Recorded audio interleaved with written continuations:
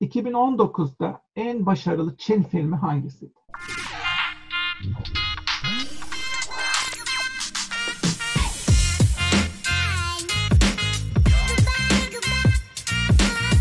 Dünyada çok böyle bayağı başarılı oldu. Çok büyük şey yaptı. Netflix'te bunu satın aldı. Bunun da cevabı hangi Çin filmi? The Wandering Earth. Konusu şu. Dünyanın hakikaten yerini değiştiriyorlar evrende. Ee, Çin bunun da lideri.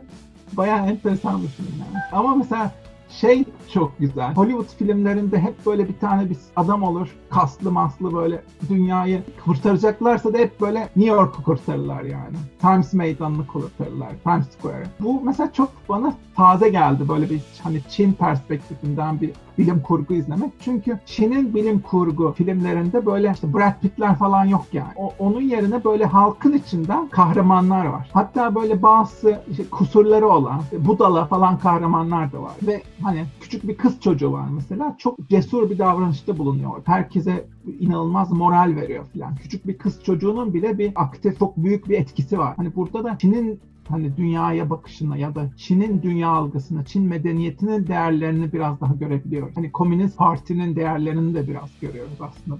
Oradaki atılım ve büyük düşünme ve işte büyük vizyon ortaya koyma ve halkın herkesin kendini böyle kahraman gibi hisset. Büyük bir şeyin parçasıyım ben ve bütün dünya hatta bu bırak dünyayı bütün evren bana bağlı yani hani öyle bir ciddiyetle çalış. Hani bu çok ayrı bir bakış açısı. Hani biz o kadar güç olabilsek hakikaten böyle kendimizi bir şeyin içinde görebilsek zaten yani bu kadar dağılmaz.